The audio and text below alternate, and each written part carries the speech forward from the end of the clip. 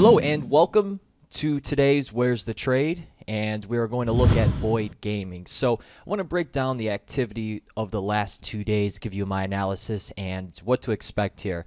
So today we're seeing put activity pick up in the January 7s. These have 11 days to expiration and about 3,000 traded with opening buyers here. You can see in the time and sales on Thinkorswim during market hours that the bulk of them was a thousand blocks or a thousand lot that traded on the ISE at 40 cents.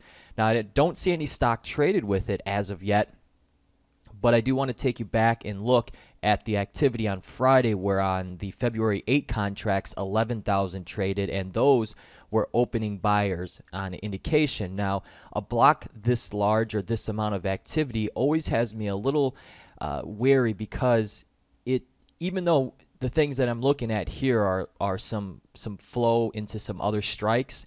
You know, typically if you see it in one strike, it's not that indicative of a bullish bet. It's more of someone's a large fund is doing some kind of buy-write. But because the six contracts and the seven contracts were active, it has me a little intrigued on this. But when I look at a few things, I am very uh, perplexed on what could occur here and I don't really have a overall bias on the stock here. You know, when I look at some of this, the the the activity, and I, I outline the the outcome that potentially could happen here. I look at this, and the thing that I have here that I'm looking at is we have resistance right here you know right at this level so the left of the chart here we have this congestion here where these these individuals were potentially buying here, um, and then it breaks down, comes back, retests that, breaks all the way back down here, and now we're getting another retest. So, you know, on the short term here, we have a little bit of a inverse head and shoulder that could be forming here. This is just a smaller pattern, but it is knocking its head right into this resistance level, which has me a little weary. 690s resistance, and then we come into 7, and uh, that just, even though the bullish activity I look at some of the other things like uh, names in this space like Las Vegas Sands, which is a little bit extended. You got MGM uh, coming into resistance as well. You have Wynn.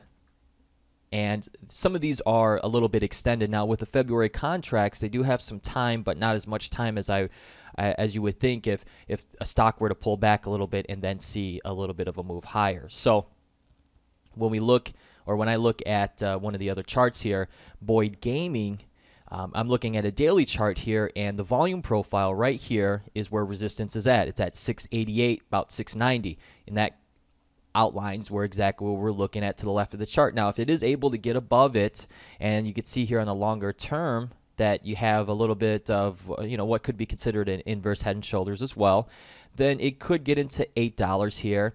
And if it can get past that, it can start coming back into the eight, nine dollar level. I think that's going to take a little bit of time, but when I look at one of the indicators that I have here, I'm getting a um, a sell signal. It hasn't gone red yet, but on the green here, it did give a buy signal. And previous to that, when it went sell, it went sell right here and actually sold off from this level here to here. So the last time it did give a sell signal, that's what it that's what occurred here. And the last time as well, when it went sell, it uh, took a little bit and then started to migrate lower. So that is my thought process on Boyd Gaming. And really, even though the option activity is there, sometimes it's just not really an edge, and that is always what I'm looking for. Here's what I would like for you to do now. Make sure you click subscribe if you haven't. If you like the video, give it a thumbs up. If you don't, give it a thumbs down. Leave a comment below. Tell me why you liked it, why you did not like it. And if you found the information to be valuable and you think that there's someone else out there that you know that could use the information or find the information valuable, make sure you click the share icon here and share the video with them.